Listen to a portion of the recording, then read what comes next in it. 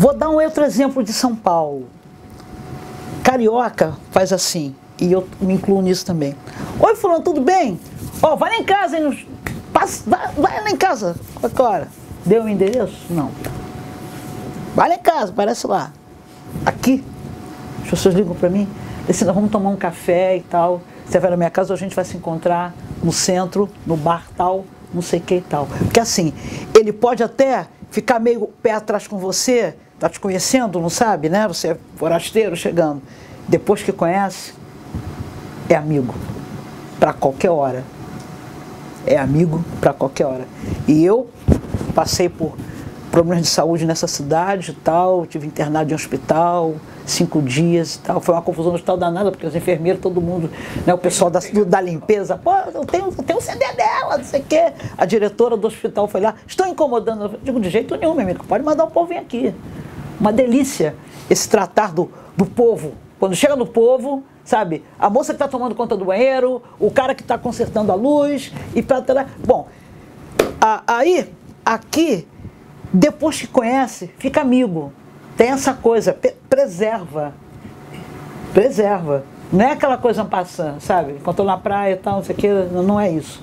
Você marca para almoçar, você marca para ir tomar um chopp, você marca para fazer uma comida na casa da pessoa.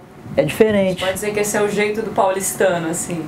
É, não, mas ele é. Ele, ele, ele pode custar, ele não é de primeira. Ele primeiro estuda né, as coisas.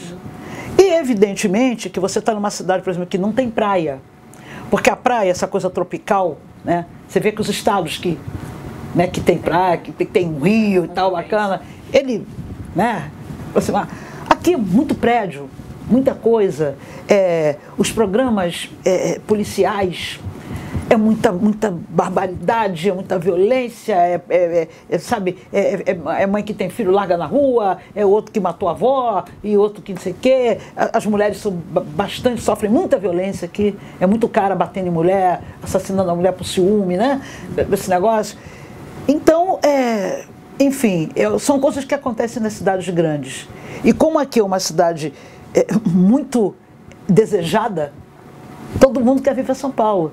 Porque também é assim, aqui em São Paulo, as pessoas chegam com toda a crise, o que está acontecendo, mas a pessoa vem para cá, vai trabalhar no bar, vai trabalhar lá no Braz, ou vai trabalhar, enfim, qualquer canto, mas daqui a pouco está mandando um dinheirinho para casa, então não sei o quê, sabe? Consegue comprar uma casinha lá, consegue trazer, depois que facilitar essa coisa da mobilidade que hoje você pode comprar uma passagem de avião pagar em 15, 20 vezes, né? As pessoas estão saindo daqui, estão indo lá ver os seus.